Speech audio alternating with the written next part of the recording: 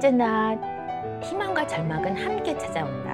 아무래도 그 본인의 그, 그 당시 본인의 삶의 얘기를 하고 있는 것 같아요. 굉장히 정신 세계가 이제 복잡한 사람이고 좀 이해하려는 노력이 필요한 것 같아요.